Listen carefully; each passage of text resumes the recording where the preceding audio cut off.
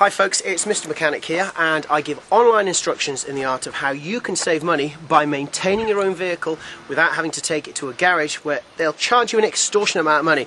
In this video we're going to be looking at the Pappy thing which is situated on the sticky out thing inside uh, this thing here where you have to put the olive oil.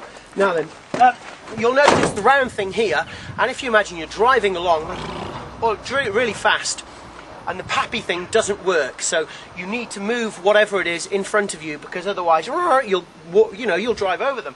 So this is what you do: you get out of your vehicle.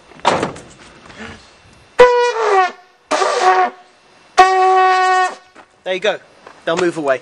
Don't forget, next video, hopefully we'll be looking at trying to change the exhaust. Thank you very much for watching.